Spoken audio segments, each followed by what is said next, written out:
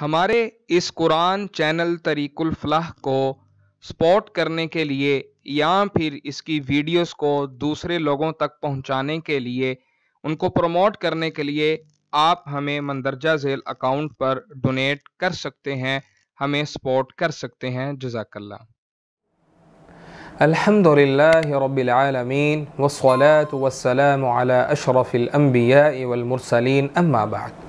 فأعوذ بالله السميع العليم من الشيطان الرجيم من همزه ونفخه ونفثه بسم الله الرحمن الرحيم رب اشرح لي صدري ويسر لي أمري واحلل عقدة من لساني يفقه قولي رب يسر ولا تعسر وتمم بالخير ڈیئر لسنرز امید کرتا ہوں آپ سب ایمان کی بہترین حالتوں میں ہوں گے.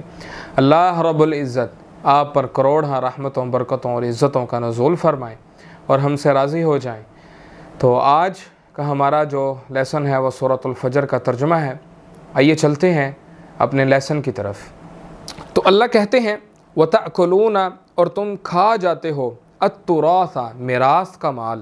اکل لما خوب سمیٹ سمیٹ کر۔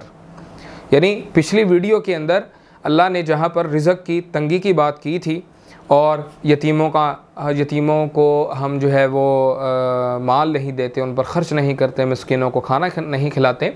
تو یہ بھی اس کے اندر سے ہے، رزق کی تنگی میں سے، کہ ہم کھا جاتے ہیں، میراث کا مال خوب سمیٹ سمیٹ کر، جو وراثت کا مال ہوتا ہے، وہ ہم سمیٹ سمیٹ کر جو ہے وہ کھا جاتے ہیں۔ وَتُحِبُّونَ الْمَالَ حُبًّا جَمَّا، اور و اور تم محبت کرتے ہو، المال مال سے۔ حبن جمع بہت زیادہ محبت۔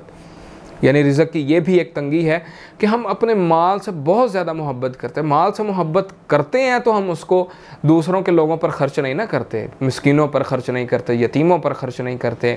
اور ہم جو ہے وہ مال جو ہے وہ سمجھ لیں کہ لوٹ لیتے ہیں، ٹھیک ہے، اس کے اوپر قبضہ بنا کر بیٹھ جاتے ہیں، جو وراثت ہوتی ہے اس کے اوپر، ٹھیک ہے۔ آگے کل ہرگز نہیں۔ اذا جب دکت الارض کوٹ کر ہموار کر دی جائے گی، الارض زمین۔ دکن دکا، ریزہ ریزہ کر کے۔ وجاء ربک، اور آئے گا آپ کا رب۔ والملک، اور فرشتے صفن صفا، صفبہ، صف۔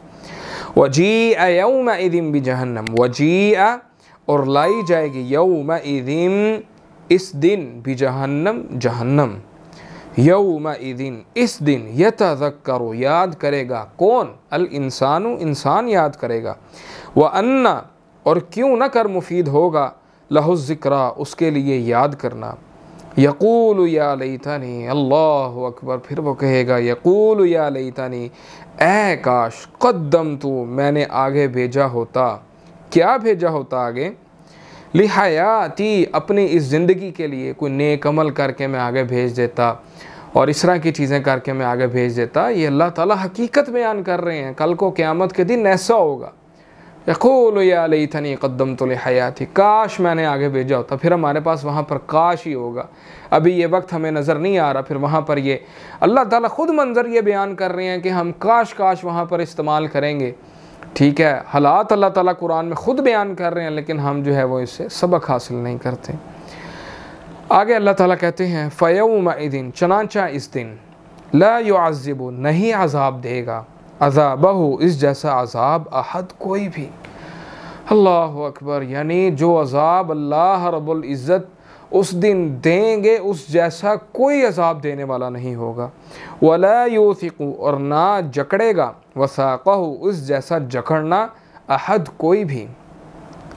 یا ایتها النفس المطمئنہ، یا ایتها اے، النفس، روح، جان یعنی المطمئنہ، اطمینان والی۔